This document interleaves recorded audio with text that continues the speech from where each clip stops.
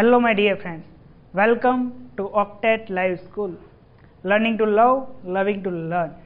મિત્રો આજે ક્વિક સિરીઝની અંદર અમે તમારી સાથે ડિસ્કશન કરવાના છે ચેપ્ટર નંબર ફાઇવ વિષય વિજ્ઞાન અને ધોરણ દસની આપણે ચર્ચા કરી રહ્યા છે કે જેમાં ચેપ્ટર નંબર ફાઇવ તત્વોનું આવર્તનીય વર્ગીકરણ છે શું છે તત્વોનું આવર્તનીય વર્ગીકરણ હવે આ ચેપ્ટર આપણા માટે અગત્યનું છે શા માટે? તો કે બોર્ડનું જે કે મોડલ પેપર આવેલું છે, એ મોડલ પેપરે આ ચેપ્ટરને આંતરિક વિકલ્પ સાથે છ ગુણવાર આપેલો છે. હવે છ ગુણવાર છે તો એને કઈ રીતે ડિવાઈડ કરેલો છે? તો કે આની અંદરથી બબ્બે ગુણના બે પ્રશ્નો. એ ટોટલ અહીંયા કવર થાય છે આપણા ચાર માર્ક્સ તદુપરાંત બે ગુણના ઓબ્જેક્ટિવ છે.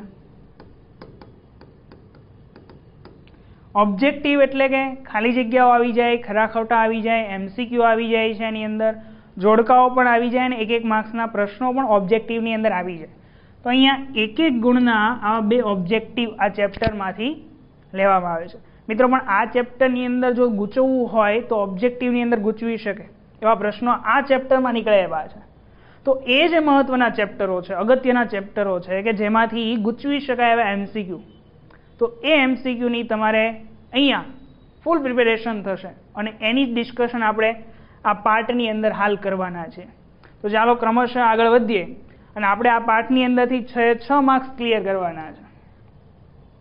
તો ઓબ્જેક્ટિવ તરફ આગળ વધીએ. તો સેક્શન એની અંદર એમસીક્યુની વાત કરો. તો પહેલો એમસીક્યુ બહુ સરળ છે. કે જ્યારે તત્વોનું વર્ગીકરણ કર્યું, તો તત્વોનું વર્ગીકરણ માટે ત્રિપુટીનો નિયમ એક વૈજ્ઞાનિકે આપેલો.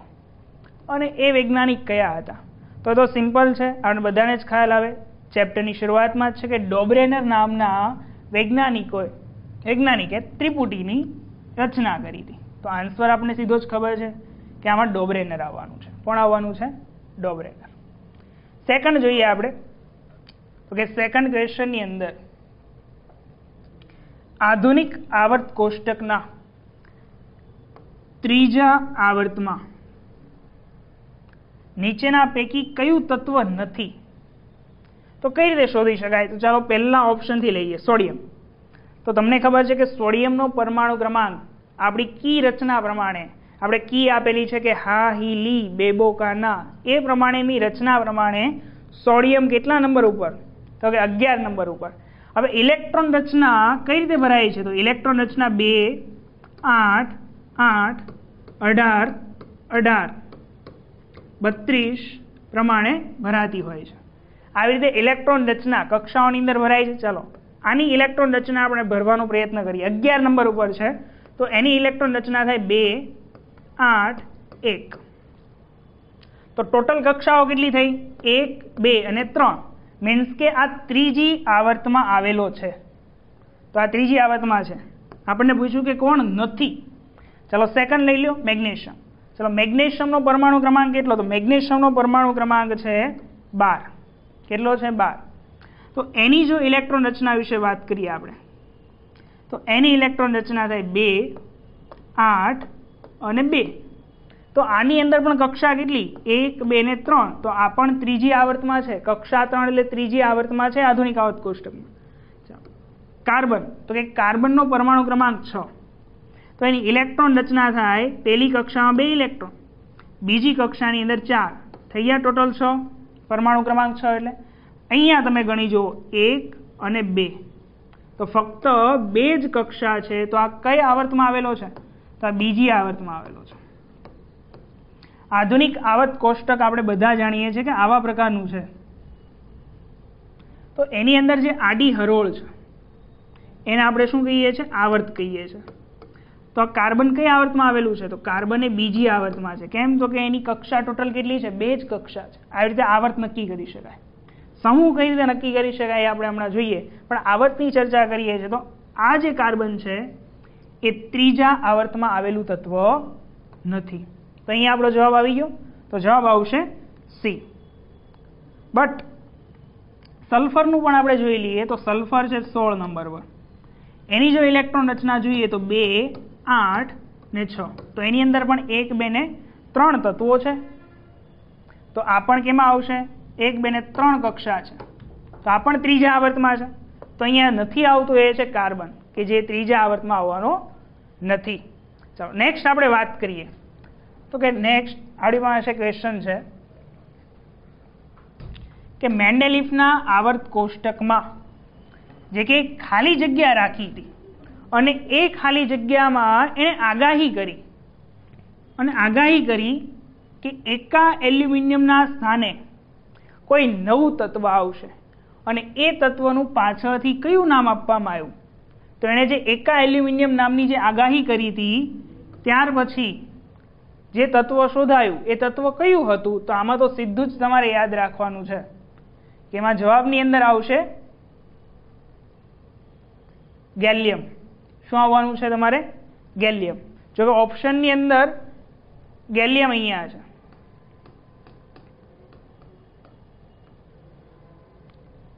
તો અહીંયા આવશે ગેલિયમ. રેડી છે? તો આ યાદ રાખવાનું છે કે એકા એલ્યુમિનિયમના સ્થાને પાછળથી જે તત્વ શોધાયું, એ તત્વ કયું હતું? તે તત્વ હતું ગેલિયમ.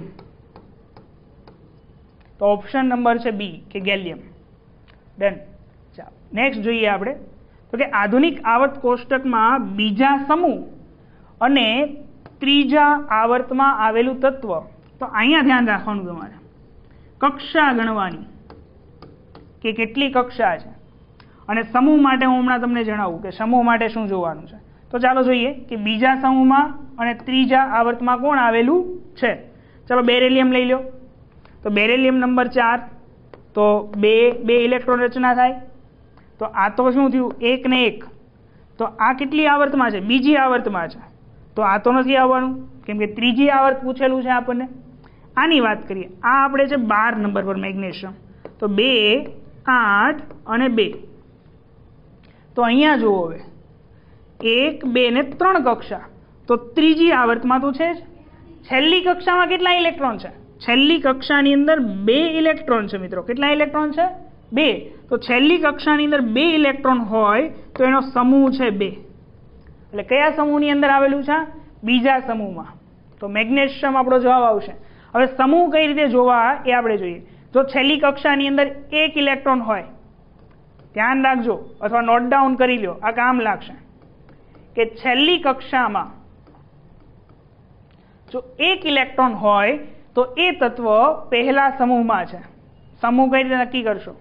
જો છેલ્લી કક્ષામાં બે ઇલેક્ટ્રોન હોય, તો એ બીજા સમૂહમાં છે. હવે જો છેલ્લી કક્ષાની અંદર ત્રણ હોય, ચાર હોય, પાંચ હોય, છ હોય, સાત હોય કે આઠ હોય, તો એના માટે થોડું અલગ વિચારવાનું છે કે જો ત્રણ ઇલેક્ટ્રોન હોય છેલ્લી કક્ષામાં, તો એ તેરમા સમૂહમાં છે. ચાર હોય, તો એ ચૌદમા સમૂહમાં છે. પાંચ હોય તો પંદરમાં સમૂહમાં છે, છ હોય તો એ સોળમાં સમૂહમાં અને સાત હોય તો સત્તર. અને જો જેની બાહ્યતમ કક્ષામાં આઠ છે ઇલેક્ટ્રોન, તો તમે દરેક જ જાણો છો કે અઢારમા સમૂહમાં છે કે આધુનિક આવત કોષ્ટકની અંદર જે અઢારમો સમૂહ છે, એ અઢારમો સમૂહ નિષ્ક્રિય વાયુનો સમૂહ છે. કે જેની સંપૂર્ણ બાહ્યતમ કક્ષા ઇલેક્ટ્રોનથી ભરાયેલી હોય, જેની બાહ્યતમ કક્ષામાં આઠ ઇલેક્ટ્રોન છે. તો આવી રીતે સમૂહ નક્કી થાય છે. તો ખ્યાલ આવી જાય, આની બાહ્યતમ કક્ષામાં કેટલા ઇલેક્ટ્રોન છે? બે. તો જેની બાહ્યતમ કક્ષામાં બે ઇલેક્ટ્રોન હોય, સમૂહ કયો? બે. આવર્ત કઈ રીતે ગણવાની? તો આવર્ત કક્ષાને આધારે ગણવાની. પહેલી, બીજી ને ત્રીજી. ત્રણ કક્ષા છે, તો ત્રીજી આવે છે. ખ્યાલ આવી ગયો? મેગ્નેશિયમ કઈ રીતે આવે છે? તો આને એક નોટબુકની અંદર નોટ ડાઉન કરી દો મિત્રો, કેમ કે આ તમને ગૂંચવી શકે. આવો એક માર્ક્સનો એમસીક્યુ અહીંથી લઈ શકાય. ડન તો આમાં જવાબ આવશે આપણો મેગ્નેશિયમ. ચાલો નેક્સ્ટ જઈએ.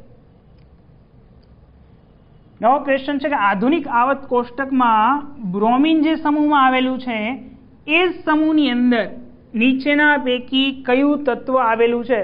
અગત્યના ક્વેશ્ચન છે મિત્રો, ખાસ કોન્સન્ટ્રેશન સાથે જુઓ.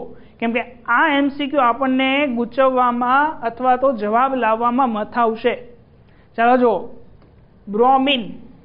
તમે દરેક જાણો છો કે બ્રોમિનની સંયોજકતા કેટલી છે? બી આર માઇનસ વન છે. શું છે? બી આર માઇનસ વન સંયોજકતા આપણને ખ્યાલ છે. હવે આ છે ક્રિપ્ટોન. તો ક્રિપ્ટોન તો નિષ્ક્રિય વાયુ છે. એની બાયદમ કક્ષા સંપૂર્ણ ભરાયેલી છે. સિલિકોનની વાત કરીએ, તો સિલિકોન કેટલા નંબર ઉપર છે? તો સિલિકોન છે આપણો ચૌદ નંબર પર. તો એની ઇલેક્ટ્રોન રચના શું થાય? બે, આઠ, ચાર. આ થયો બોરોન. બોરોન આવે પાંચ નંબર પર. તો ઇલેક્ટ્રોન રચના થાય બે, ત્રણ. ક્લોરીન. તો ક્લોરીનની ઇલેક્ટ્રોન રચના સત્તર નંબર ઉપર છે. કેટલા? બે, આઠ, સાત. હવે તમે જાણો છો કે તત્વને બાહ્યતમ કક્ષાની અંદર અષ્ટકના નિયમ અનુસાર છેલ્લી કક્ષામાં આઠ ઇલેક્ટ્રોન પૂરા કરવા હોય છે. હવે ક્લોરીનને બાહ્યતમ કક્ષાની અંદર આઠ ઇલેક્ટ્રોન પૂરા કરવા હોય તો અહીંયા સાત છે, તો એ શું કરે? એક ઇલેક્ટ્રોન બહારથી મેળવે. અને જ્યારે એક ઇલેક્ટ્રોન મેળવે તો શું બને? સીએલ માઇનસ બને. શું બને? સીએલ માઇનસ તો અહીંયા પણ માઇનસ વન વીજભાર છે, અહીંયા પણ માઇનસ વન વીજભાર છે. તો બ્રોમિન સાથે સમૂહની અંદર આવતું કોઈ તત્વ છે તો એ છે ક્લોરિન કેમ કે આની અંદર તો ત્રણ છે બાહ્યતમ કક્ષામાં એક ઇલેક્ટ્રોન નહીં મેળવે. આ તો નિષ્ક્રિય વાયુ છે ક્રિપ્ટોન ખ્યાલ છે ને નિષ્ક્રિય વાયુ, અઢારમો સમૂહ, આપણે બધાને ખબર છે.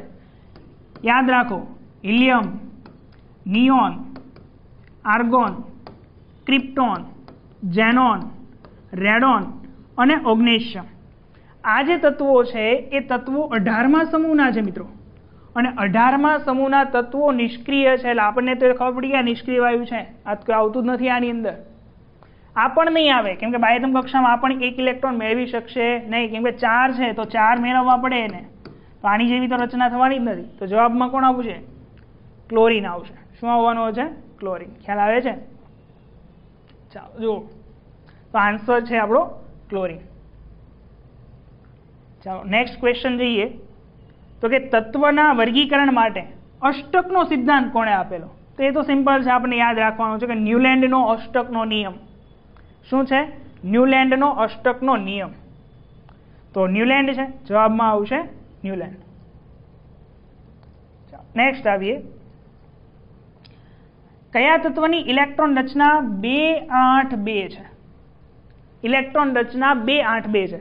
ગણી લો બે વત્તા આઠ વત્તા બે. ટોટલ કેટલા થાય? બાર. બે વત્તા આઠ વત્તા બે, બાર. હવે બાર નંબરનું તત્વ તમે ગણો. આ હિલી બે બોકાના કા ના ઓ ફ ની સો મે. બાર નંબર ઉપર મે આવે છે. મે એટલે કયું? મેગ્નેશિયમ. તો પરમાણુ ક્રમાંક દરેકને એકથી ત્રીસ જેટલા તો મિત્રો આપણને આવડતા જ હોવા જોઈએ, તો જ આપણી પાસે આ સંભવિત થઈ શકે. કે આ ઇલેક્ટ્રોન રચના કોની છે? તો એ મેગ્નેશિયમની છે. એની બે, આઠ, બે ઇલેક્ટ્રોન રચના. એ ટોટલ બાર થયા. ચાલો, નેક્સ્ટ આવીએ. તો કે આધુનિક આવર્ત કોષ્ટકમાં તત્વનું વર્ગીકરણ કેટલા સમૂહ અને કેટલી આવર્તમાં કરેલું છે? કોની વાત કરી છે? આધુનિક આવર્ત કોષ્ટક. તો આધુનિક આવર્ત કોષ્ટકની અંદર સમૂહ છે અઢાર. અને આવર્ત છે આપણા સાત. સમૂહ કોને કહેવાય? તો કે આ આપણું આધુનિક આવર્ત કોષ્ટક છે. એની અંદર જે આ ઊભી લાઈન છે, કે જે તત્વોને ઊભા સ્તંભમાં ગોઠવેલા છે. એને સમૂહ કહેવાય. ને જે આડી હરોળ છે, એને આપણે આવર્ત કહીશું. શું કહીશું? આડી હરોળને આવર્ત. અને ઊભા સ્તંભને આપણે સમૂહ કહીશું. તો આ વસ્તુ યાદ રાખવાની છે. કે આધુનિક આવત કોષ્ટકમાં અઢાર સમૂહ છે ને, સાત આવર છે. આવા એક માર્ક્સના ક્વેશ્ચન અહીંથી નીકળી શકે. નેક્સ્ટ જોઈએ કે સમસ્થાનિકોની વ્યાખ્યા આપો. સમસ્થાનિક એટલે શું? અગાઉના ધોરણની અંદર થોડો ઘણો અભ્યાસ કર્યો છે આપણે સમસ્થાનિકો વિશે, કે હાઇડ્રોજનના ત્રણ સમસ્થાનિક છે. કે જેમના પરમાણુ ક્રમાંક તો સરખા છે. હાઇડ્રોજન એટલે પરમાણુ ક્રમાંક એક. અલગ અલગ અલગ શું? તો એની અંદર અલગ અલગ હોય છે પરમાણીય દળ. શું હોય છે અલગ અલગ? પરમાણુ દળ. તો કે આ જે હાઇડ્રોજન છે એનું પરમાણુ દળ છે એક યુનિટ. બીજો હાઇડ્રોજન છે એનું પરમાણુ દળ છે બે યુનિટ. આ ત્રીજો હાઇડ્રોજન છે એનું પરમાણીય દળ છે ત્રણ યુનિટ. આપણે આ ત્રણે ત્રણના નામ અગાઉના ધોરણની અંદર ભણી આવ્યા છે. આને શું કહેવાય? આને કહીશું આપણે પ્રોટિયમ, ડ્યુટેરિયમ અને આ ટ્રિટિયમ. તો આની અંદર ફરક શું છે? દરેકે દરેક એક સમાન તત્વના તો બનેલા જ છે. હાઇડ્રોજન હાઇડ્રોજન જ છે. પરમાણુ ક્રમાંક સરખા છે. શું સરખા છે? પરમાણુ ક્રમાંક. એક નંબર ઉપર જ. પણ એના જે પરમાણીય દળ છે, એ જુદા જુદા છે. તો જે તત્વના પરમાણુ ક્રમાંક સમાન હોય રેડી છે? એટલે આખી જે વ્યાખ્યા આપણે વાત કરીએ, તો એક જ તત્વના, હાઇડ્રોજન હાઇડ્રોજન હાઇડ્રોજન, એક જ તત્વના જુદા જુદા પરમાણુઓ જુદા જુદા પરમાણુ કે જેમના પરમાણીય ક્રમાંક સમાન હોય. આ વસ્તુ યાદ રાખવાની છે ખાસ. પરમાણુ ક્રમાંક સમાન હોય, પરંતુ એમના પરમાણીય દળ સમાન ન હોય. તો એવા જે પરમાણુઓ છે, એ પરમાણુને આપણે એકબીજાના સમસ્થાનિકો કહેશું. શું કહેશું એને? સમસ્થાનિકો. નેક્સ્ટ આપણે વાત કરીએ તો કયા તત્વને કુલ ત્રણ કક્ષાઓ છે? અને એની બાહ્યતમ કક્ષા, સંયોજકતા કક્ષા. સંયોજકતા કક્ષાને કહેવાય બાહ્યતમ કક્ષા. આને યાદ રાખજો. જો ખૂબ અગત્યનું છે છે એકદમ ઇઝી પણ થોડા નાના નાના કોન્સેપ્ટો આપણને ન ખ્યાલ હોય તો જવાબ ન આવે. તો એ બધા જ કોન્સેપ્ટને આપણે અહીંયા ખૂબ સારી રીતે તમને સમજાવવાનો પ્રયત્ન કરી રહ્યા છે. તો સંયોજકતા મીન્સ કે બાહ્યતમ કક્ષા. એવું તત્વ કે જેમાં કુલ ત્રણ કક્ષાઓ છે. અને એની બાહ્યતમ કક્ષાની અંદર ચાર ઇલેક્ટ્રોન છે. કેટલા ઇલેક્ટ્રોન છે? ચાર. તો આવું તત્વ જેની બાહ્યતમ કક્ષામાં ચાર હોય, તો આપણને ખ્યાલ છે પરમાણુ ક્રમાંક ચૌદ હોય. તો આની અંદર જો ઇલેક્ટ્રોન રચના ભરવી હોય, તો કે આવા પ્રકારની થાય. પહેલી કક્ષાની અંદર બે ઇલેક્ટ્રોન, બીજી કક્ષાની અંદર આઠ અને ત્રીજી કક્ષાની અંદર ચાર. તો આવું ન જાણતા હોય તો આપણે આવી રીતે પણ દોરી શકીએ. આ પરમાણુનું કેન્દ્ર, સિલિકોન, ચૌદ નંબર ઉપર. પહેલી કક્ષાની અંદર બે ઇલેક્ટ્રોન, બીજી કક્ષાની અંદર તો કે આઠ ઇલેક્ટ્રોન અને ત્રીજી કક્ષાની અંદર તો કે ચાર ઇલેક્ટ્રોન. આવી રીતે લખાય, બે, આઠ, ચાર. ટોટલ કક્ષા કેટલી થઈ? ત્રણ. એક બે ને ત્રણ કક્ષા, એક બે ને ત્રણ કક્ષા. છેલ્લી કક્ષા, સંયોજકતા કક્ષા, બાહ્યતમ કક્ષા. કેટલા ઇલેક્ટ્રોન થયા? ચાર. તો કયું તત્વ છે? ચૌદ નંબર ઉપર સિલિકોન છે. તો આવું તત્વ કયું છે? સિલિકોન. આવા પ્રકારના એક એક માર્ક્સના ઓબ્જેક્ટિવ પૂછાઈ શકે.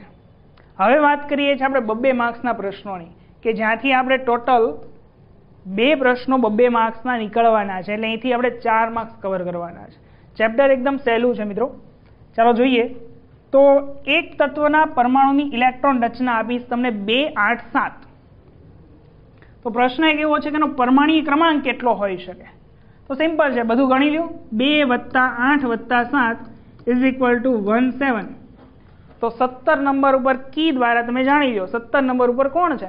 તો સત્તર નંબર ઉપર ક્લોરીન છે. તો જવાબ આવશે એનો, સત્તર નંબર ઉપર ક્લોરીન પરમાણુ છે. હાઈલી બેબોકાના પ્રમાણે ગણીએ તો સત્તર નંબર ઉપર છે ક્લોરિન. એટલે આવશે સીએલ. પહેલો પ્રશ્ન ક્લિયર. ચલો બીજો પ્રશ્ન. કે નીચેના પૈકી કયા તત્વો સાથે રાસાયણિક રીતે આ તત્વ સમાનતા ધરાવે છે? હવે આ તત્વ કયું છે? આપણને ખબર પડી ગયું, ક્લોરિન. તો એની ઇલેક્ટ્રોન રચના શું છે? તો એની ઇલેક્ટ્રોન રચના છે બે આઠ સાત. મીન્સ કે સાત છે તો બાહ્યતમ કક્ષાની અંદર એક ઇલેક્ટ્રોન મેળવશે. અને આઠ કરવા માટે એક ઇલેક્ટ્રોન મેળવી સીએલ માઇનસ બનશે. તો નીચે આપેલા ચાર પરમાણુમાં આપણે એની ઇલેક્ટ્રોન રચના જોઈશું કે કોની અંદર એક ઇલેક્ટ્રોન મેળવીને માઇનસ વન વીજભાર બને છે, એના રાસાયણિક ગુણધર્મ આના જેવા હશે. તો ચાલો દરેકની ઇલેક્ટ્રોન રચના પહેલાં આપણે જાણવી પડે. તો દરેકની ઇલેક્ટ્રોન રચના જાણીએ. પહેલી વાત કરીએ તો કે નાઇટ્રોજન સાત નંબર પર, ઇલેક્ટ્રોન રચના બે પાંચ આપણને આપ્યું હતું ક્લોરિન. એની ઇલેક્ટ્રોન રચના છે બે આઠ સાત. તો આના જેવી ઇલેક્ટ્રોન રચના છે? નથી. ચાલો, બીજું છે ફ્લોરિન, નવ નંબર પર. ઇલેક્ટ્રોન રચના, તો કે બે સાત. બાહ્યતમ કક્ષાની અંદર કેટલા ઇલેક્ટ્રોન? સાત. આઠ પૂરા કરવા માટે એક જ ઘટે છે, એક મેળવશે. અને બની જશે. Fluorine minus one. આ સત્તર નંબર છે સીએલ માઇનસ વન. તો આ જે સંયોજન છે, ફ્લોરિન એ આપણને આપેલી ઇલેક્ટ્રોન રચના જેવા રાસાયણિક ગુણધર્મ ધરાવે છે. તો જવાબમાં આવશે આ ફ્લોરિન. પણ બીજા પણ જોઈ લઈએ. ફોસ્ફરસ પંદર નંબર ઉપર. તો બે આઠ પાંચ. એ પણ નહીં આવે બાહ્યતમ કક્ષામાં. પાંચ છે. આર્ગોન. તો કે બે આઠ આઠ. અઢાર નંબર ઉપર છે એટલે બાહ્યતમ કક્ષા તો સંપૂર્ણ ભરાયેલી છે. એટલે નહીં તો ઇલેક્ટ્રોન મેળવશે કે નહીં ઇલેક્ટ્રોન ગુમાવે. તો આની સાથે કોણ મેચ થાય છે? તો કે ફ્લોરિન મેચ થાય છે. આના ફ્લોરિન સાથે રાસાયણિક ગુણધર્મ કેવા હશે? સમાન હશે. એટલે કે રાસાયણિક રીતે સમાનતા ધરાવતું તત્વ ફ્લોરિન છે. જેની ઇલેક્ટ્રોન રચના સરખી, એમના રાસાયણિક ગુણધર્મ સમાન થાય. નેક્સ્ટ જો, બહુ સિમ્પલ આધુનિક આવર્ત કોષ્ટક, જે હેનરી મોસલે નામના વૈજ્ઞાનિકે બનાવ્યું છે. અને એક મેન્ડેલિફનું આવર્ત કોષ્ટક છે, જે મેન્ડલે બનાવ્યું છે. એમાં શું થોડો ઘણો ડિફરન્સ છે? તો ડિફરન્સની અંદર આપણે જોઈએ તો કે આધુનિક આવર્ત કોષ્ટકની અંદર આવર્તની સંખ્યા છે સાત અને અઢાર સમૂહ છે. જ્યારે મેન્ડેલિફે બનાવેલા જે કંઈ વર્ગીકરણ હતું તત્વોનું, એ આવર્ત કોષ્ટકની અંદર છ આવર્ત હતી અને સમૂહની સંખ્યા આઠ હતી. હવે વાત કરીએ કે એને કઈ રીતે તત્વોને ગોઠવેલા? તો આધુનિક આવત કોષ્ટકની અંદર હેનરી મોસલે નામના વૈજ્ઞાનિકોએ તત્વના પરમાણીય ક્રમાંકના ચડતા ક્રમમાં તત્વોને ગોઠવેલા છે. એટલે પરમાણીય ક્રમાંકને આધારે ગોઠવેલા છે. જ્યારે મેન્ડેલિફે શું કર્યું હતું? તો કે મેન્ડેલિફે તત્વોના પરમાણીય દળના ચડતા ક્રમમાં તત્વોને ગોઠવેલા હતા. તો આ થઈ ગયા ટોટલ એના ચાર મુદ્દાઓ. આપણી માટે અહીંયા બે માર્ક્સનો આ પ્રશ્ન છે.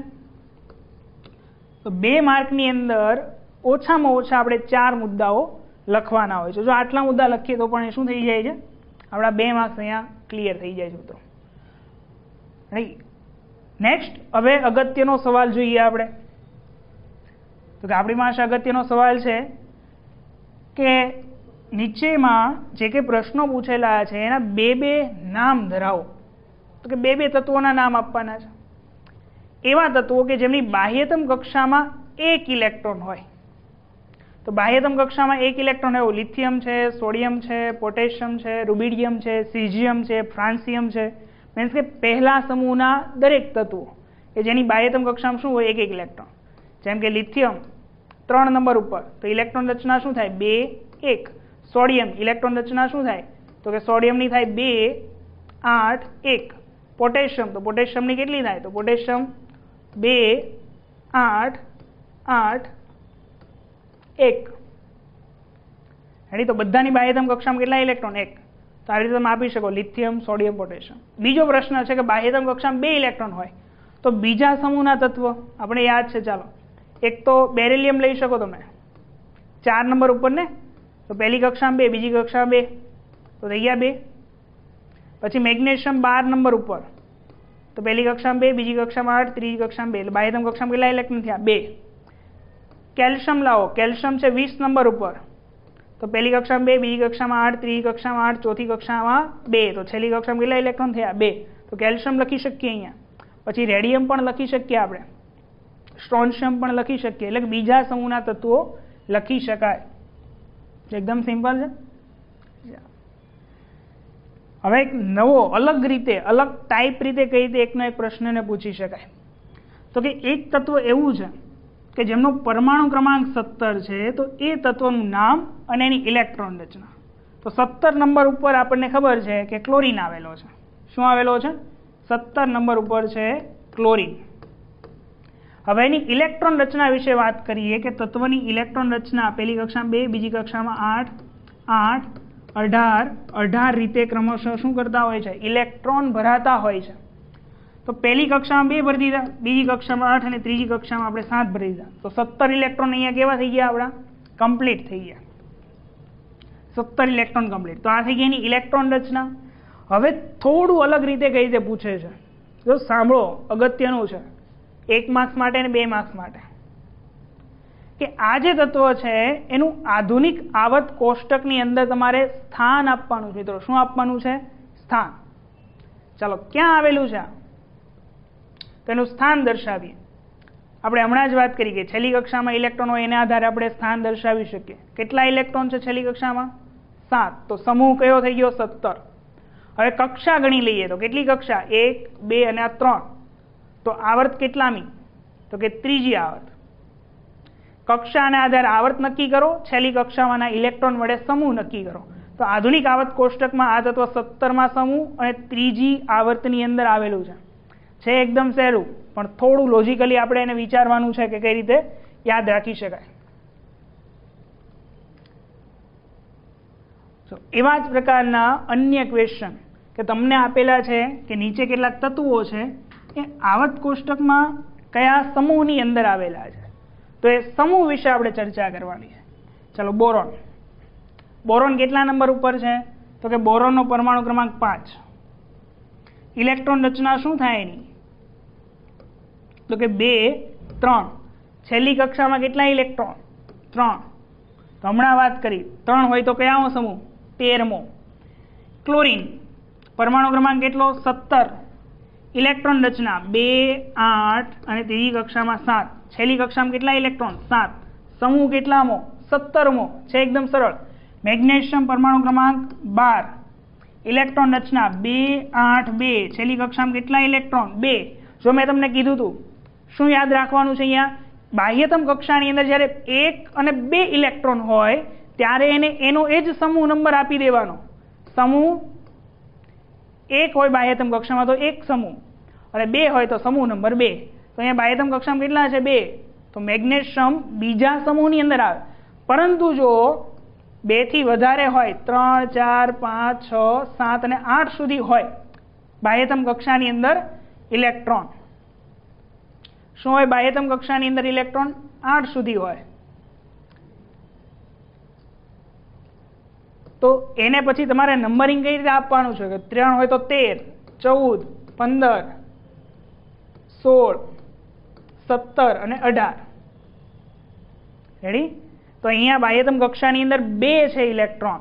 તો સમૂહ નંબર બે. અહીંયા આવીએ, હિલિયમ. હવે જો અહીંયા થોડું ડિફરન્સ છે, આ વસ્તુ આપણે યાદ રાખવી પડશે. હિલિયમનો પરમાણુ ક્રમાંક બે છે. તો એની ઇલેક્ટ્રોન રચના પણ કેટલી થાય? બે. હવે તમને એમ થાય કે બાહ્યતમ કક્ષાની અંદર બે ઇલેક્ટ્રોન છે, તો બીજા સમૂહમાં હોવું જોઈએ, આના આધારે. પણ અહીંયા થોડું તમને ગૂંચવવા માટે હિલિયમ મૂકેલો છે, કે હિલિયમ તો નિષ્ક્રિય વાયુ છે. આપણે હમણાં જ વાત કરીને કે નિષ્ક્રિય વાયુને ક્યાં મૂકીએ?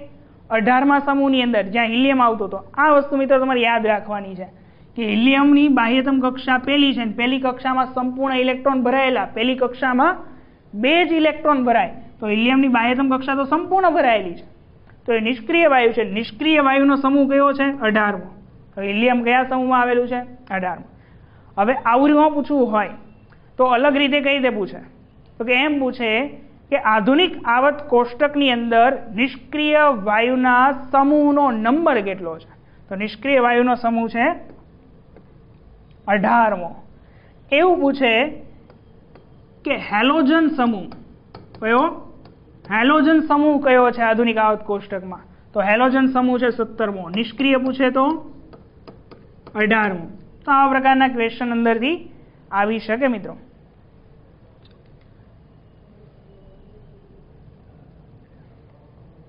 ફરી પાછું ઇલેક્ટ્રોન રચનાના આધારે કન્ફર્મ કરાવીએ. જો આના જ પ્રશ્નો તમને રિપીટ એટલા માટે કરાવું છું કે આવા પ્રકારનો પ્રશ્ન આવી શકે અને જેમાંથી તમારો એક પણ માર્ક્સ કટ ન થાય મિત્રો. આવા પ્રકારની આપણને કંઈક ઇલેક્ટ્રોન રચના આપી છે. બે તત્વોની. તો એ તત્વના સ્થાન આપણે બતાવવાના છે આધુનિક આવત કોષ્ટકમાં. હવે તમને આવડી ગયું હશે ને? ફટાફટ આન્સર આવી શકે. એક, બે ને ત્રણ કક્ષા. તો આ કેટલી આવર્તમાં છે? ત્રીજી આવર્તમાં. અને છેલ્લી કક્ષામાં કેટલા ઇલેક્ટ્રોન? ચાર. તો કેટલામો સમૂહ? ચૌદમો. આમાં પણ એક, બે, ત્રણ અને ચાર. તો આવર્ત કેટલામો થાય? ચોથો આવર્ત. પરંતુ સમૂહની વાત કરીએ તો છેલ્લી કક્ષામાં કેટલા ઇલેક્ટ્રોન? એક ઇલેક્ટ્રોન. તો કયા સમૂહની અંદર? પહેલા સમૂહની અંદર. આવડી જાય છે? છે એકદમ સરળ. ઇઝી છે? ચાલો નેક્સ્ટ જોઈએ આપણે. યસ ખૂબ અગત્યનો પ્રશ્ન તમે તમારી નોટબુકની અંદર આને નોટ ડાઉન જ કરી રાખો. Very very very most IMP question ઘણી વખત પૂછાયેલો છે મિત્રો કે ડોબ્રેનરની ત્રિપુટીનો નિયમ સમજાવો. તો આને તો પહેલાં ચેપ્ટર કરતી વખતે રીડ કરી જ જવાનો. આને છોડવાનો નથી. બહુ ઇઝી છે. કે ડોબ્રેનરે ત્રિપુટીનો નિયમ આપ્યો. કે શું કર્યું? તો કે એના સમયમાં જે કંઈ તત્વો શોધાયા હતા એ તત્વોની અંદર સમાન રાસાયણિક ગુણધર્મ ધરાવતા ત્રણ ત્રણ તત્વોના એણે સમૂહ બનાવ્યા. તો જોઈએ નિયમ કે ત્રિપુટીના ત્રણ તત્વોને એમને પરમાણીય દળના ચડતા ક્રમમાં ગોઠવા જો, એક ત્રિપુટી એની દર્શાવી દો અહીંયા. લિથિયમ, સોડિયમ અને પોટેશિયમ. ચાલો, હવે આ ત્રિપુટીનો પરમાણીય દળ પણ કઈ રીતે યાદ રાખવાના તમને જણાવું. લિથિયમ કેટલા નંબર ઉપર છે? ત્રણ નંબર પર. સોડિયમ અગિયાર નંબર પર. પોટેશિયમ તો કે ઓગણીસ નંબર પર છે. ચાલો આના પરમાણીય દળ યાદ કઈ રીતે રાખશો? તો કે ત્રણના ડબલ કેટલા? છ વત્તા એક. તો સાત થાય ને? પણ અહીંયા આપણે યાદ રાખવાનું છે છ પોઈન્ટ નવ. એટલે સાત જ થયું. ચાલો, સોડિયમની વાત કરીએ તો સોડિયમનો પરમાણુ ક્રમાંક અગિયાર. તો અગિયારના ડબલ બાવીસ. બાવીસ વત્તા એક. ત્રેવીસ. પોટેશિયમની વાત કરીએ તો પોટેશિયમ ઓગણીસ નંબર પર. તો ઓગણીસના ડબલ કેટલા? આડત્રીસ. આડત્રીસ વત્તા એક.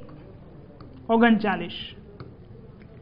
જો આમ તો આપણે પરમાણીય દળ એના યાદ ન રાખવાના હોય, પણ જ્યારે ત્રિપુટી દર્શાવીએ છીએ તો આ બધું આપણે લખવું પડશે અંદર. એટલે આવી રીતે તમે યાદ રાખી શકો. તો આ એક ડોબરેનની એક ત્રિપુટી છે. કે એણે શું કર્યું?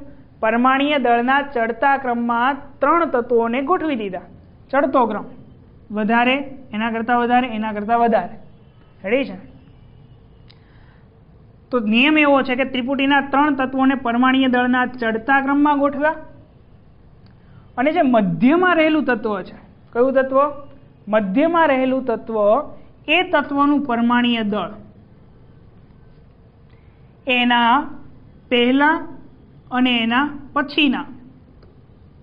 પરમાણુના પરમાણીય દળના સરેરાશ જેટલું મૂલ્ય ધરાવતું હતું. શું ધરાવતું હતું? સરેરાશ જેટલું મૂલ્ય.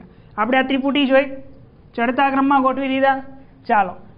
આ જે મધ્યમાં રહેલું તત્વ છે, સોડિયમ, એ કોના જેટલું પરમાણીય દળ ધરાવે છે? તો કે પહેલા અને ત્રીજા, એટલે કે એના પહેલા અને પછીના તત્વના સરેરાશ મૂલ્ય. ચાલો, સરેરાશ કરવું હોય તો છ પોઈન્ટ નવ વત્તા ઓગણચાલીસ છેદમાં બે, સરેરાશ એટલે બે. આ યુનિટ લેખો છે, એકમ. તો છ પોઈન્ટ નવ વત્તા ઓગણચાલીસ છેદમાં બે. એટલે શું જવાબ આવે? પિસ્તાલીસ પોઈન્ટ નવ છેદમાં બે. એટલે આન્સર શું? બાવીસ પોઈન્ટ પંચાણું. બાવીસ પોઈન્ટ પંચાણું એટલે શું લખી શકો તમે? ત્રેવીસ. તો આ ત્રેવીસ દળ કોના જેટલું થયું? વચ્ચેના પરમાણુ જેટલું થઈ ગયું. તો એ સોડિયમના પરમાણુ જેટલું થઈ ગયું. તો આવી રીતે ડોબરેને ત્રિપુટી ગોઠવી. તો ફરીથી એના નિયમને જુઓ.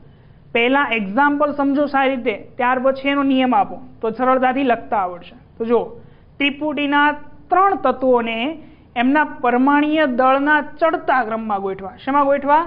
ચડતા ક્રમમાં. અને ત્યાર પછી મધ્યમાં રહેલું જે તત્વ છે, એ તત્વનું પરમાણીય દળ, એ બાકીના બે તત્વના પરમાણીય દળના સરેરાશ જેટલું આવ્યું. કેટલું આવ્યું? એના એવરેજ જેટલું, સરેરાશ જેટલું આવ્યું, મિત્રો. આવ્યું? આવડે ત્રિપુટી. અન્ય એક ત્રિપુટી છે ક્લોરિન બ્રોમિન વાળી. Chlorine chlorine, bromine. હવે નેક્સ્ટ સેકન્ડ આ પ્રશ્ન અગત્યનો છે કે શું ડોબરેનરની ત્રિપુટી એ ન્યુલેન્ડના અષ્ટકના સમૂહમાં પણ જોવા મળે ખરી? રેડી છે? અને જો જોવા મળતી હોય તો એની સરખામણી કરો. અને એને જણાવો. કે ક્યાં ડોબરેનની ત્રિપુટી ન્યુલેન્ડના અષ્ટકના નિયમમાં આવે છે. તો ન્યુલેન્ડે શું અષ્ટકનો નિયમ આપેલો? સારેગામાં પદનિશા અનુસાર. તો ન્યુલેન્ડ વિશે જાણતા હોવા જોઈએ ને? તો ન્યુલેન્ડે શું કર્યું? એના વખતમાં જે કંઈ તત્વો શોધાયા હતા. એ તત્વોને એમના પરમાણીય દળના ચડતા ક્રમમાં ગોઠવી દીધા. શેમાં? પરમાણીય દળના ચડતા ક્રમમાં ગોઠવા. અને ત્યાર પછી એણે એવો નિયમ આપ્યો કે દરેક તત્વથી આઠમા ક્રમે આવતું તત્વ. મિત્રો, કેટલામું? દરેક તત્વથી આઠમા ક્રમે આવતું તત્વ એ પહેલા તત્વ જેવા રાસાયણિક ગુણધર્મ ધરાવે છે. એવું કોણે કીધું હતું? ન્યુલેન્ડના અષ્ટકના નિયમમાં એવું કીધું હતું ને? કે તત્વોને એમના પરમાણુ દળના ચડતા ક્રમમાં ગોઠવો અને દરેક તત્વથી આઠમા ક્રમે આવતું તત્વ એના પહેલા તત્વ જેવા ગુણધર્મ ધરાવશે. તો સેમ એવી ત્રિપુટી ડોબરેનરની અંદર જોવા મળી. કઈ રીતે? જો, તો પહેલું તો એમ કહીશું આપણે કે યસ, ડોબ્રેનરની ત્રિપુટી ન્યુલેન્ડના અષ્ટકના નિયમની અંદર પણ જોવા મળી હતી. કઈ રીતે? તો આપણી પાસે એક ત્રિપુટી છે લિથિયમ, સોડિયમ અને પોટેશિયમ. આ કોની ત્રિપુટી છે? તો કે આ ત્રિપુટી છે ડોબ્રેનરની. ચાલો. પ્રથમ તત્વ લઈ લઈએ આપણે. ત્રિપુટીનું પ્રથમ તત્વ લિથિયમ લઈ લઈએ. તો લિથિયમ પ્રથમ તત્વ તરીકે લો. તો લિથિયમ પછી કોણ આવે? ક્રમશઃ lithium, beryllium, boron, carbon, nitrogen, oxygen અને ફ્લોરિન. એ વખતે નિષ્ક્રિય વાયુ શોધાણો નહોતા. ન્યુલેન્ડનો જે અષ્ટકનો નિયમ હતો, એ વખતે ફક્ત છપ્પન તત્વો શોધાયા. નિષ્ક્રિય વાયુની હજી શોધ થઈ ન હતી. એટલે ફ્લોરિન પછી આપણે અહીંયા નિયોન નહીં લખીએ. શું નહીં લખીએ? નિયોન નહીં લખીએ, કેમ કે શોધાણું જ નહોતું. તો જુઓ, પહેલો, બીજો, ત્રીજો, ચોથો, પાંચમો, છઠ્ઠો સાતમોનો આઠમો તત્વ ક્યાં લખવાનો? ફરી પાછો નીચે. તો ફ્લોરિન પછી નિયોન. નિયોન શોધાણો હતો. નિયોન પછી કોણ આવે? તો કે સોડિયમ. ચાલો, સોડિયમથી ક્રમશઃ શું કરતા જઈએ આપણે? તત્વો ગોઠવતા જઈએ. તો સોડિયમ પછી મેગ્નેશિયમ. ત્યારબાદ એલ્યુમિનિયમ, સિલિકોન, ફોસ્ફરસ, સલ્ફર અને ક્લોરિન. ક્લોરિન પછી કોણ આવે છે? આર્ગોન. પણ એ વખતે આર્ગોન શોધાયો ન હતો. એટલે આઠમા ક્રમે આવતો તત્વ આર્ગોન નહીં થાય. હવે આઠમા ક્રમે કોણ આવે છે?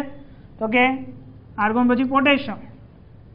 તો આથી ન્યુલેન્ડનો અષ્ટકનો નિયમ કે આઠ આઠ સિરીઝમાં ગોઠવા પરમાણીના ચડતા ક્રમમાં. તો આ જે અષ્ટકના નિયમનો સિદ્ધાંત છે, એની અંદર પ્રથમ તત્વ ગણીએ. આપણે લિથિયમને શું ગણીએ? પ્રથમ તત્વ ગણીએ તો લિથિયમથી આઠમા ક્રમે. પહેલો, બીજો, ત્રીજો, ચોથો, પાંચમો, છઠ્ઠો, સાતમો, આઠમો તત્વ કોણ આવે છે? સોડિયમ. તો એક્ઝેક્ટ લિથિયમની નીચે કયું તત્વ આવે છે? સોડિયમ આવે છે. મીન્સ કે લિથિયમ અને સોડિયમ એ બંને એક સમાન ગુણધર્મ ધરાવે છે. શું ધરાવે છે? એક સમાન ગુણધર્મ. તો ડોબરેનરે શું કર્યું હતું? એવું જ કર્યું હતું કે સમાન ગુણધર્મ ધરાવતા તત્વોને ત્રિપુટીમાં ગોઠવા હતા. ક્રમશઃ નીચે નીચે નીચે ગોઠવા હતા. તો આ ત્રિપુટી આવી ગઈ. એવી જ રીતે આપણે સોડિયમથી શરૂઆત કરીએ તો આને એક નંબર આપો. એક, બે, ત્રણ, ચાર, પાંચ, છ, સાત અને આઠ. તો આઠમા ક્રમે કોણ આવે છે? આઠમા ક્રમે આવે છે પોટેશિયમ. શું આવ્યું?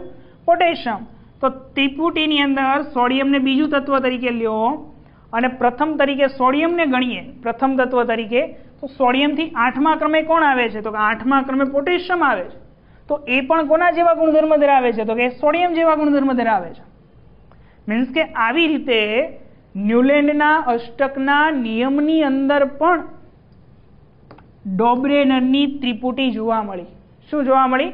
ડોબ્રેનરની ત્રિપુટી. ચલો, પોટેશિયમ પછી કોણ આવે? કેલ્શિયમ. તો આ રીતે બીજી પણ ત્રિપુટી જોવા મળી. કોની? બેરિયમ, મેગ્નેશિયમ અને કેલ્શિયમની. એ પણ શું ધરાવે છે? એક સમાન રાસાયણિક ગુણધર્મો ધરાવે છે. અને આપણે ક્રમશઃ એને ગોઠવેલા છે ત્રિપુટીની અંદર. તો ન્યુલેન્ડના અષ્ટકના નિયમની અંદર ડોબ્રેનરની ત્રિપુટી પણ જોવા મળે છે. ન્યુલેન્ડનો અષ્ટકનો નિયમ પણ બે માર્ક્સમાં એટલો જ અગત્યનો છે મિત્રો. એને પણ રીડ કરવાનો છે. ચાલો. કદાચ આવું પૂછાય કે ન્યુલેન્ડના અષ્ટકના નિયમની મર્યાદા શું? અષ્ટકનો નિયમ. અષ્ટક કેમ કહેવાય? તો કે એને ક્રમશઃ આઠ તત્વો ગોઠવાતા કે પહેલા તત્વથી આઠમા ક્રમે આવતું તત્વ. એ પહેલા તત્વ જેવા રાસાયણિક ગુણધર્મ ધરાવે છે એમ કહેતા હતા એટલા માટે એને શું કીધું હતું અષ્ટકનો નિયમ. શું ખામી રહી ગઈ? શું મર્યાદા રહી ગઈ એની? તો કે આ જે ન્યુલેન્ડનો અષ્ટકનો નિયમ હતો, એ અષ્ટકનો નિયમ ફક્ત હલકા તત્વો માટે લાગુ પડતો હતો. મીન્સ કે ચાલીસ યુનિટ દળ હોય, ત્યાં સુધી જ લાગુ પડતો હતો. ચાલીસ યુનિટ દળ તો કેલ્શિયમનું છે. કેલ્શિયમ કરતાં વધારે દળ ધરાવતા તત્વો માટે આ નિયમ લાગુ નહોતો પડતો તો પહેલી મર્યાદા આવી ગઈ એની ત્યાં? બીજી મર્યાદા શું? તો કે ન્યુલેન્ડ વખતે ફક્ત ને ફક્ત છપ્પન તત્વો શોધાયા હતા. અને એણે પાછી એવી આગાહી કરી દીધી કે ભવિષ્યમાં હવે કોઈ અન્ય તત્વ શોધાવાના નથી. તો આ વસ્તુ ખોટી છે. ત્યાર પછી ઘણા બધા તત્વો શોધાયા છે. અને એ અષ્ટકના નિયમનું પાલન નથી થયું. એકસો ને અઢાર તત્વો છે આપણી પાસે અત્યારે તો. તો આ વસ્તુ ખોટી છે. આ એક મર્યાદા આવી ગઈ. પછી એણે એવું કીધું કે માત્ર કેલ્શિયમ સુધી જ લાગુ પડતો હતો. ક્યાં સુધી લાગુ પડતો હતો આ? કેલ્શિયમ સુધી જ લાગુ પડતો હતો. કારણ કે કેલ્શિયમ પછીનું જે આઠમા ક્રમે આવતું તત્વ છે, એ તત્વ એ પહેલા તત્વના ગુણધર્મ જેવા ગુણધર્મ ધરાવતું ન હતું. એટલે ને? અષ્ટકનો નિયમ? તો કે પહેલા તત્વથી આઠમા ક્રમે આવતું તત્વ એ પહેલા જેવા ગુણધર્મ ધરાવે. પણ કેલ્શિયમ પછી ક્રમશઃ આઠ તત્વોને આપણે ગોઠવા તો એ પહેલા તત્વ જેવા ગુણધર્મ ધરાવતું ન હતું. તો આ એક મર્યાદા થઈ ગઈ. બીજી એક ખામી શું એની? તો કે જે આ ન્યુલેન્ડ છે, એ ન્યુલેન્ડે પોતાના નિયમને અનુસરવા માટે કેટલાક તત્વોને એક સાથે ગોઠવી દીધા. જેમ કે નિકલ અને કોબાલ્ટ. શું? નિકલ અને કોબાલ્ટ. તો તમે કોબાલ્ટને આવી રીતે લખી શકો. નિકલ અને કોબાલ્ટ. તો નિકલ અને કોબાલ્ટને એણે પોતાના ગુણધર્મોને અનુસરવા માટે એક જ સ્થાનમાં સાથે ગોઠવી દીધા. ક્યાં ગોઠવી દીધા? સાથે ગોઠવી દીધા. પરંતુ નિકલ અને કોબાલ્ટ જેવા સમાન રાસાયણિક ગુણધર્મ ધરાવતા એફીને એને એની સાથે ન ગોઠવું, પણ બીજે ગોઠવી દીધું. એને ક્યાંક બીજે સ્થાન આપ્યું જ્યાં નિકલ અને કોબાલ્ટને ક્લોરીન, બ્રોમિન, ફ્લોરિન સાથે સ્થાન આપ્યું કોની સાથે સ્થાન આપ્યું ક્લોરિન, બ્રોમિન, ફ્લોરિન સાથે. તો આ પણ પાછળથી શું થયું? ખોટું પડ્યું. કે જે અષ્ટકના નિયમની શું થઈ? મર્યાદા બની. કેટલીક ખામીઓ રહી ગઈ. શું રહી ગઈ? કેટલીક ખામીઓ રહી ગઈ છે.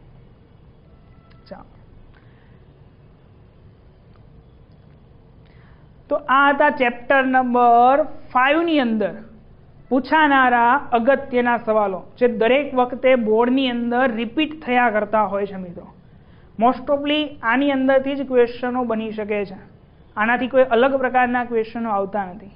તો આ જે તમારી સિરીઝ છે, એ સિરીઝ તમારા છમાંથી છ માર્ક્સ પાક્કા કરશે બાળકો. આઈ હોપ કે તમને આ વીડિયો ખૂબ અગત્યનો બની રહ્યો હશે. તો આ જ વીડિયો તમારા મિત્રો સુધી એની હેલ્પ થાય એટલા માટે શેર કરો. અમારી ચેનલને સબસ્ક્રાઈબ કરો અને લાઈક કરો. Thank you thank you for watching